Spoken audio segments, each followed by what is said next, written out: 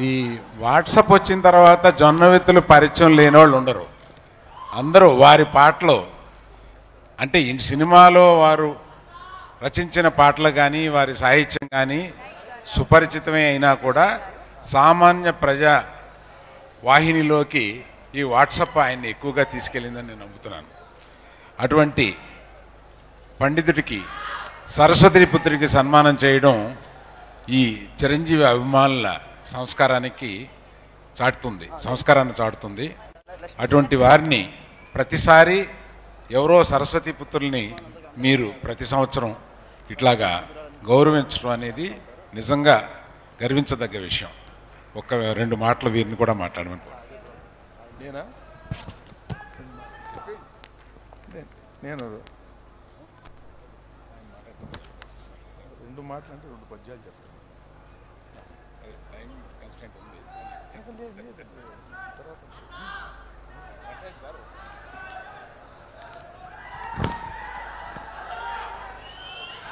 రక్తదాతలు నేత్రదాతలు అయిన చిరంజీవి అభిమానులకి శుభాకాంక్షలు.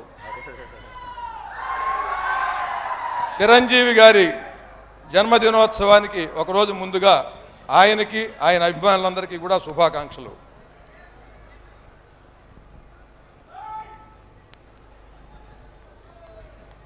చిరంజీవి గారు ఆయన ఎంత గొప్పవాడంటే అరవిందాకృతి హస్త పద్మరేఖ గనక చేతిలో ఉన్నట్టయితే చాలా మహాయోగాలు రాజయోగాలు ఉంటాయని అంటారు. ఆయన చేతిలో ఉన్నదే అరవిందాకృతి ఆయన హస్తంలో చేతిలో ఉన్నదే పద్మరేఖ.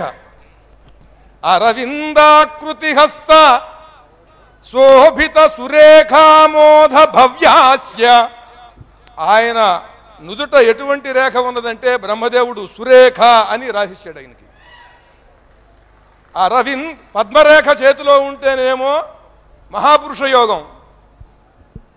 ముఖాన ఎటువంటి రేఖ ఉన్నది అని అంటే ముఖసీమలో శోభిత సురేఖామోద భవ్యాస్య. శుభప్రదమైనటువంటి ముఖంలో శోభించేటువంటి సురేఖని బ్రహ్మదేవుడు లిఖించేశాడు. శ్రీకర కళ్యాణ విశేష నాగబల ప్రఖ్యాతాభిమాని ప్రజా. ఇక శ్రీకరంగా సమాజానికి శ్రేయస్సుని కలిగించాలని కళ్యాణప్రదంగా సాగేటువంటి కళ్యాణ తమ్ముడు. విశేష నాగబల. ఇంకా ఇంకా ఎటువంటి తమ్ముడు అంటే విశేష నాగబల. నాగబలుడైనటువంటి నాగబలుడు అంటే నాగము అంటే ఏనుగనుంది. మంచి దిగ్గజం లాంటి తమ్ముడు.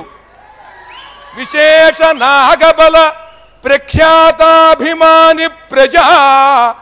ఆ అభిమానులందరూ కూడా మామూలు ప్రజలు కాదు చాలా ప్రఖ్యాతులు గొప్ప గొప్ప డాక్టర్లు లాయర్లు జడ్జిలు నటులు నటీమణులు ఇతర భాషల్లో ఉండేటువంటి గొప్ప గొప్ప స్టార్లు వీళ్ళందరూ కూడా ప్రఖ్యాతులు ఆయనకి అభిమానులు. ప్రఖ్యాతాభిమాని ప్రజా. ప్రజలు మాత్రమే కాదు ప్రఖ్యాతులైనటువంటి వారు కూడా ఆయనకి అభిమానులు. వరపుత్రాప్త మనోజ్ఞ రామచరణ. వరపుత్రుడైనటువంటి వాడు ఆప్తుడు మనోజ్ఞుడైనటువంటి రామచరణుడు కలిగినటువంటి కుమారుణ్ణి కలిగినటువంటి వాడు. వర్ధిల్లి ఈ సేవలే స్థిరమై వెల్గుతని యశస్సిక చిరంజీవౌచు హీరోన్నత. అంటే ఇక్కడ ఆయన సేవలన్నీ కూడా చిరంజీవి కావాలి. ఎప్పుడూ కూడా నిరంతరము కలకాలము అలా ఉండిపోతాయి. ఇక్కడ హీరోన్నత అని అన్న. హీరోలో ఉన్నతుడు అని కాదు అర్థం. హీరము అంటే వజ్రం. వజ్రంలో కూడా ఉన్నతమైనటువంటి వజ్రం ఎంత కాంతితో దృఢంగా ఉంటుందో అలా ఈయన చాలా దృఢమైనటువంటి వజ్రముగా కాంతిని విరాజిల్లుతూ శాశ్వతంగా అలా సేవలు కొనసాగిస్తూ ఈ తెలుగు జాతిలో ఉండిపోవాలని నేను ఆకాంక్షిస్తూ ఆయనకి శుభాకాంక్షలు చెబుతున్నాను.